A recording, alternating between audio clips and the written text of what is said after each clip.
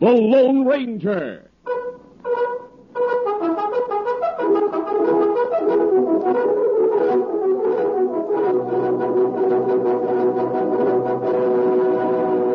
Hail Silver! A fiery horse with the speed of light, a cloud of dust, and a hearty Hi-Yo Silver. The Lone Ranger.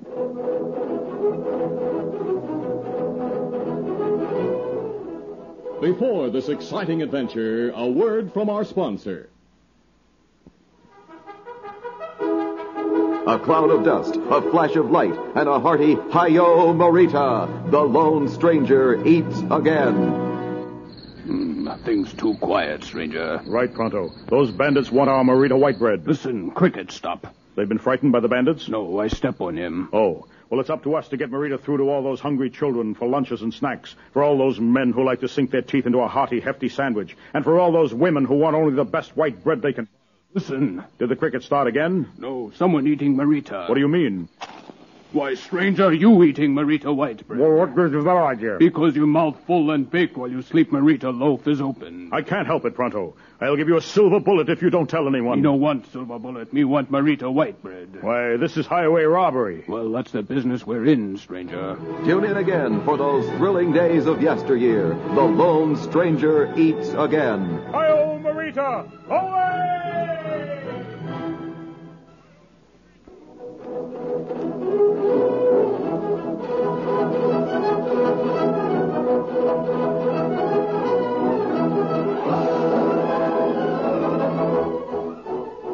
With his faithful Indian companion Tonto, the daring and resourceful masked rider of the plains led the fight for law and order in the early western United States.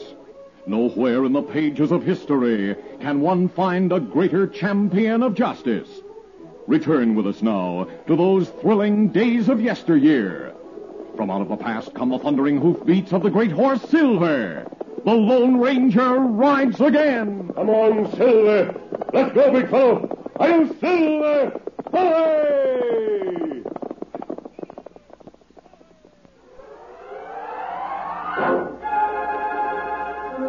The town of Kimberly straddled the railroad tracks. North of Kimberly lay arid, lifeless badlands, and south the trees grew thick in a well watered valley. It was here that the Lone Ranger and his nephew Dan Reed had made camp to await the arrival of Tonto. I expect Tonto will be here by sundown. We'll spend the night in camp, Dan, and start out at daybreak to visit your friends. If we're going to be here tonight, how about visiting Kimberly? Is there anything to see in town? No, not a thing. But there is one big building. I, I saw it from a distance. That was the railroad uh, warehouse. Is that empty now? I think the Army has taken it over. There's a warehouse, sir? That's what I've heard. Someone told Tonto the building was being used to store Army goods. Golly, I'll be glad to see Tonto. How about riding out to meet him? Getting impatient, Dan. well, I thought since We'd probably miss him. We don't know which route he'll take. He might take any one of three.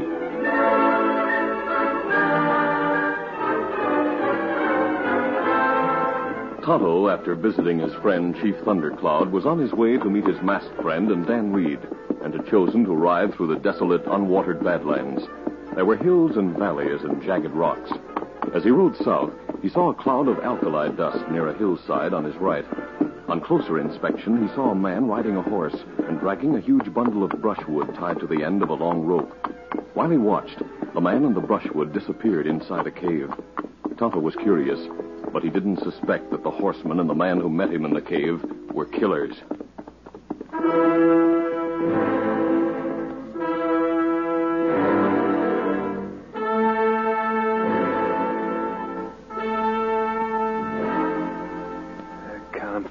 Jug. That Indian saw you dusting out the wagon tracks. What's he doing in the Badlands anyhow? How do I know? Look at him, Kent. He's riding over this way to investigate.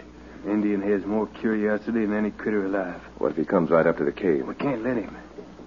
If he rides into town and passes the word about seeing a cave loaded with army uniforms and rifles, Seems cold-blooded to shoot the redskin without giving him a chance. I'll get close to the mouth of the cave so I can rest my rifle on the rock. I'll wait till he gets closer so you're sure to get him. Just leave it to me. Be careful, Kent. Keep your head down. Oh, doggone it. He spotted you. He stopped his horse. Yeah. He suspects something. He's turned away from the cave. He's not coming any closer. Let him have it. Fire again, Kent. Fire again. I know I hit him. Sure you hit him. I saw him reel, but he's still in the saddle. Yeah, you missed. I saw the bullet kick up dirt ahead of him. Nah, no chance for another shot, Jug. He's got behind those rocks. I know I hit You him. hit him all right. I saw him slump forward. He was clinging to his horse for dear life. I just hope he doesn't live long enough to talk. We'll have to make sure, Jug.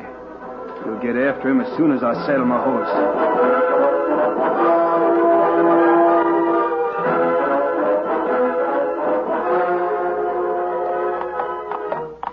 Tonto had been hit hard.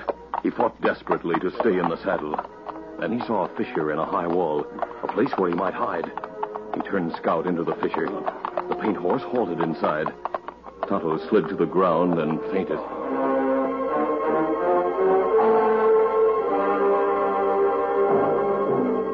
When Kent and Jug had reached the point where Tonto had disappeared behind huge rocks, they found themselves surrounded by massive rock formations, larger than two story houses.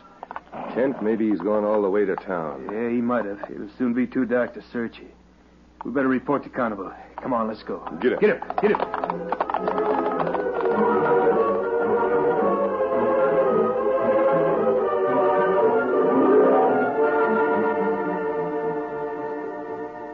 Conable was a civilian in charge of the warehouse in which the government had stored vast quantities of army material, including blankets, clothing, and medical supplies, as well as rifles and ammunition. He lived alone in a small house directly across the tracks from the big warehouse. Soon after darkness, he heard horses stopping. Uh, wonder who's coming. Mr. Carnival. Oh, Jug, is that you? Yeah, Kent's with me. We gotta see you, boss. Oh, come on in.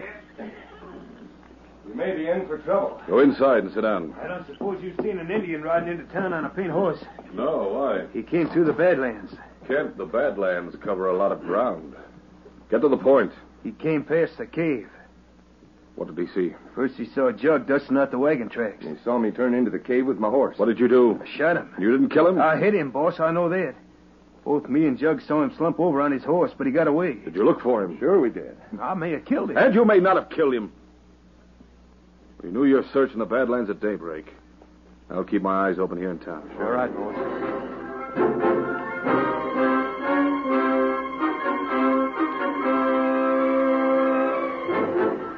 Later that same night, the Lone Ranger and Dan Reed had become increasingly concerned about Tonto. Something must have told the masked man that all was not well. Since sundown, the big white stallion Silver had been tense and restless. He had whinnied frequently and pawed the ground almost constantly. Finally, the Lone Ranger rose from his seat near the campfire and told Dan to saddle his horse. I'll have Victor saddled in just a minute. What if Tonto comes while we're away? We'll leave a note telling him we'll be back here by tomorrow evening. If we return without finding Tonto, then our work will be cut out for us. We'll have to search the Badlands. Silver sure is anxious to get started. Stay there, boy. Steady. We're going in just a minute. I'm ready, sir. All right, empty your canteen on the fire. I'll fasten this note to a tree where Tonto will be sure to see it. Right.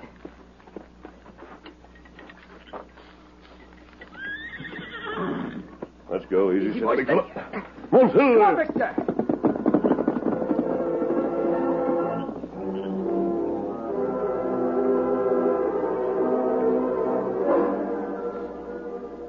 During the darkness of a moonless night, Tonto regained consciousness and found himself practically helpless. His throat was hot and dry, and his tongue felt thick. He was too weak to stand alone, but Scout was at his side. Tonto somehow mustered the strength to gain his feet. He clung desperately to the pommel of his saddle. He rested for a moment, then placed one foot in a stirrup. Searing pain stabbed through his back, but he gritted his teeth and mounted. Then murmured to his horse, Scout.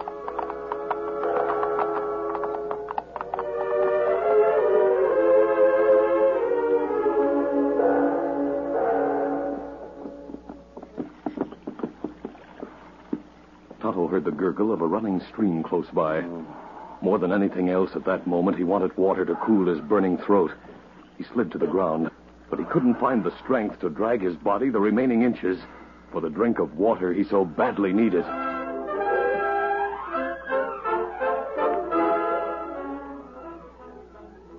We'll continue our Lone Ranger adventure in just a moment. A cloud of dust, a flash of light, and a hearty Hi-Yo Merita. The Lone Stranger eats again. What you doing, stranger? I'm baking up these flaky rich Merita Brown and serve rolls, pronto. Them smell heap good, but no can do over open fire. Why not? It's say on package to bake in medium oven. Well, I made a medium fire. Then it's okay, me guess. You guess right, Pronto. These Merita and Rich Brown and serve rolls bake up to a mouth-watering, flaky rich golden brown. The perfect hot rolls for breakfast, lunch, or dinner. And they come freshly baked and piping hot from your fire in just six minutes. Uh, that good for family with many papooses. No, Pronto. The plural of papoose is papoosai. Uh, me may be no good in grammar, but you no good in making coffee. Well, do you think it's easy chasing bandits all day and then slaving over a hot fire at night? Tune in again for those thrilling days of yesteryear. The Lone Stranger eats again. Hi-yo, Merita! Away!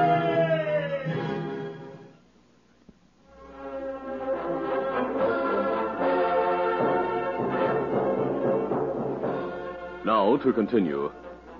Jug and Kent were on the move at daybreak, searching through the Badlands for Tonto, dead or alive, and Scout. Later in the morning, the Lone Ranger and Dan Reed reached Gatesville, some distance north. Dan went to town to inquire about Tonto. He had news to report when he returned to the gully where the masked man waited. Oh, ho, Victor, ho, boy, hold steady, fella. Tonto was there, sir. I talked to several men who saw him When was he in Gatesville, then? yesterday morning. And he should have reached our camp near Kimberly last night, just as he'd planned. That's right, sir. If we don't find him, we'll have to search the Badlands. It'll be evening when we reach Kimberly. Yes, I know. That means if we do have to search the Badlands, we'll have to do it after dark. Yes, let's go. Come on, Silver. Come on, Victor.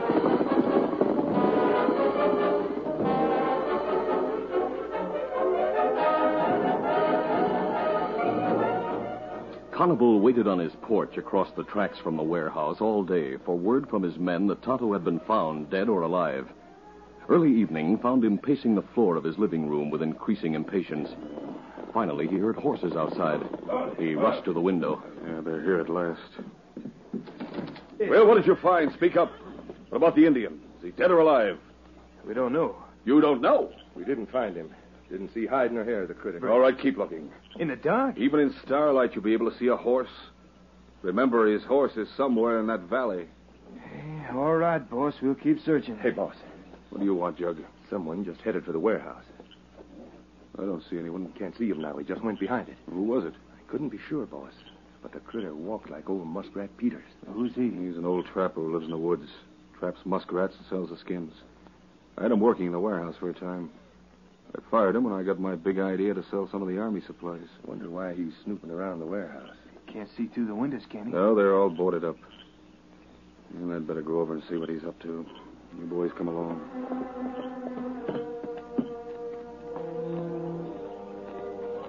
Followed by Jug and Kent, the warehouse supervisor crossed to the front of the warehouse. There he paused. Hey, boss, look. The door's open a crack. Uh, Peters must be inside. Well, someone's in there. I just saw a light. Confounded old snooper. I didn't know he kept a key to the lock. You boys get your guns ready. We'll have to deal with him. Do you think he suspects we've been taking out some of the stores? I don't know. If he sees the empty cases, he'll know a lot of stuff is missing. His knowledge will do him no good. Keep quiet now. I'll open the door wider so we can see inside.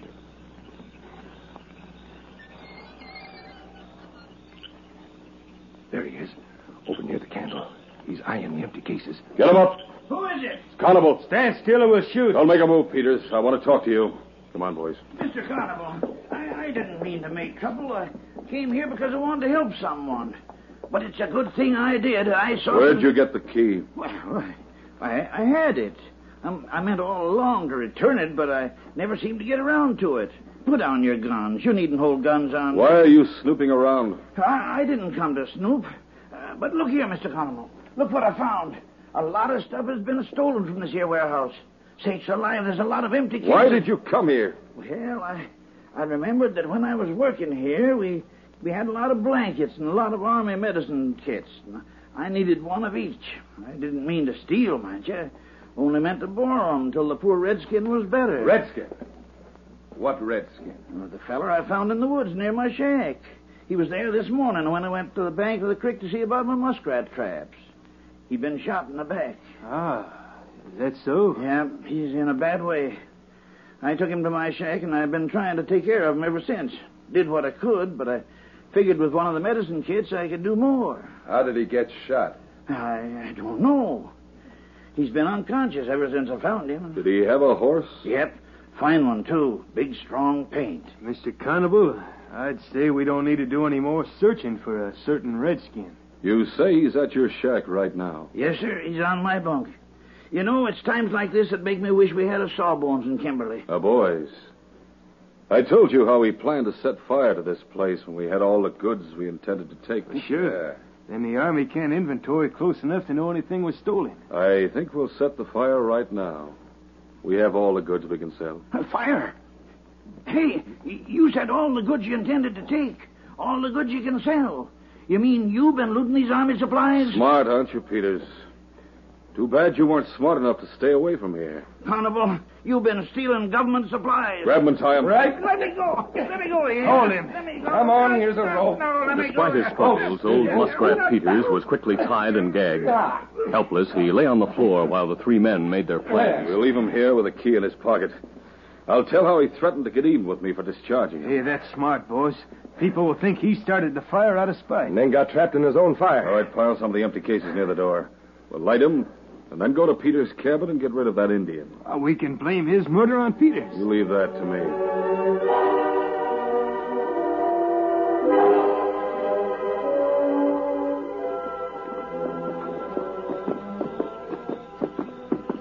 The Lone Ranger and Dan were nearing the end of their long trip. They came across the open flat country toward the old warehouse in the town of Kimberly. Golly, I sure hope we find Tonto in camp. So do I, Dan. If we don't, then we'll search the Badlands. If we don't find him, you'll wait in camp.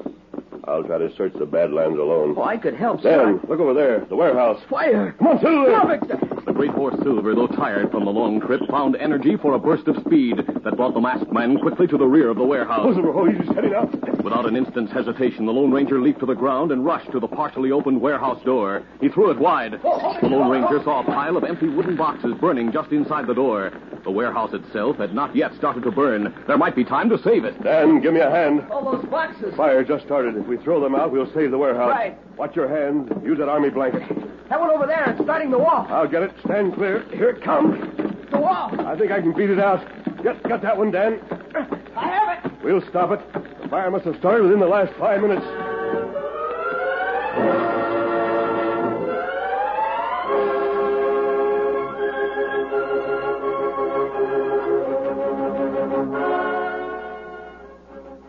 Constable Kent and Jug made their way on foot through the woods toward the shack where Muskrat Peters lived. All three had guns ready in case they found the Indian awake and able to defend himself. This is a longer walk than I figured. We should have brought our horses. We're almost there. See the shack? Yeah, Light in the window. There's a horse tied to the tree near the door. yeah, I see it. Too dark to tell if it's a paint we saw. Well, it must be. Peters has no horse. What's the matter with you, Kent? Huh? Oh, I was just looking back toward town. Thought I might see the light of the burning warehouse. Couldn't see it from here. Maybe we should have stayed there to be sure the fire got started good. If it didn't, we'll start it again when we get back. Try the door, Jug. Right. We'll stand ready with guns.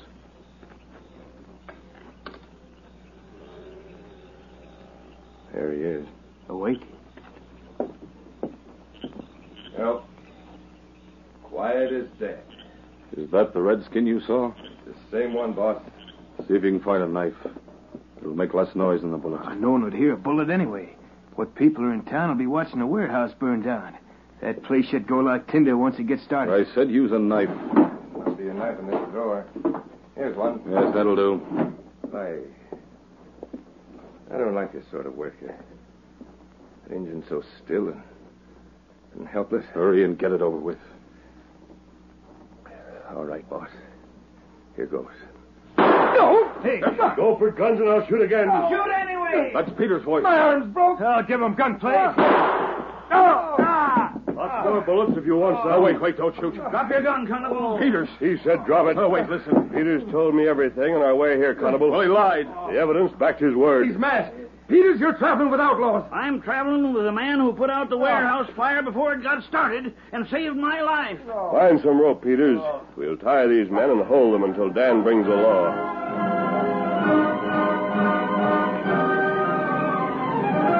In due time, Dan Reed came from Kimberly with a marshal who took the prisoners in custody and took a statement from old Muskrat Peters. It was several weeks later when Peters, seated on a chair in front of the warehouse door, saw Dan Reed approach and bring Victor to a halt. Oh, ho, Victor, ho, boy. Steady. Well, Dan Reed, as I live and breathe. Oh, Mr. Peters, steady, boy. Marshal told me I'd find you here. Yes, sirree, Dan. I'm in charge of the warehouse since Constable went to jail. Got the special appointment from the Army. Uh, uh, how's Tonto? Well, that's why I came here.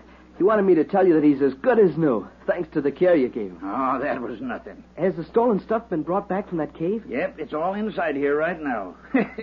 Jug and Kent told plenty when they saw that the whole scheme had fallen through. Uh, say, how's that masked friend of yours? Oh, he sends his regards. Never to my dying day will I forget the way he saved my life. And the way he whipped out his guns and let her rip when those crooks were about to knife Tonto.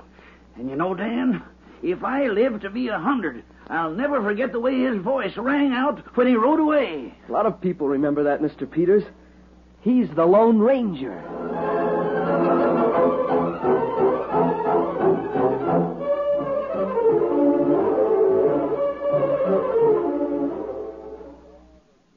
Ah, the good old days. Back when people were old fashioned and the things your grandmother used to bake were fresh and piping hot. Well, at the Merita Bakeries, things haven't changed much over the years. Like Merita old fashioned enriched white bread. There's a seal on every loaf that says Merita guarantees freshness and is sold fresh through day shown on the twist tie. Maintain freshness by storing at room temperature. And when Merita says old fashioned, it means it's made from a rich, old fashioned recipe. And that means it's fresh. The idea of fresh anything, especially fresh bread, has been around for a long time. But folks forget what really old fashioned freshness tastes like. That's why there's Merita. Merita enriched white bread. It has a freshness and taste that hasn't been around for a long time. That's a fresh idea that's very old fashioned. Listen to the Lone Ranger. Keeping behind the buildings, the Lone Ranger and Tonto rode toward the other end of town. As they passed an opening between two buildings, they saw Bob Allison standing in front of the hotel.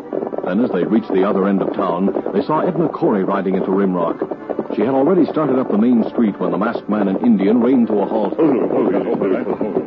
was Edna Corey, Tonto. She'll meet Bob Allison in front of the hotel. Ah.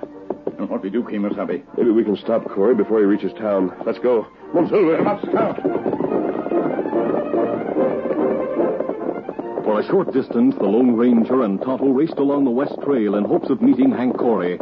As they started over a rise in the trail, the masked man called for a quick halt. Wait, Tonto. Hold, Silver. Hold. Steady, easy. Oh. Look, coming over that distant hill, a large dust cloud. That means a group of horsemen. Let's go into that arroyo to the left and hurry. Come on, Silver. Get him up, scout. Oh, Silver. Oh, scout, old fella. I don't think they noticed us. They'll soon be passing here. I'm coming along trail now, Kemosabe. Yes, I know.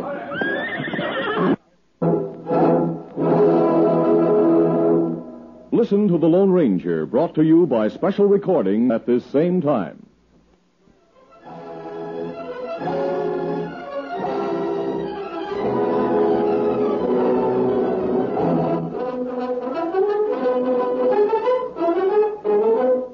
Lone Ranger, a copyrighted feature of The Lone Ranger Incorporated, is produced by Trendle Campbell Muir Incorporated.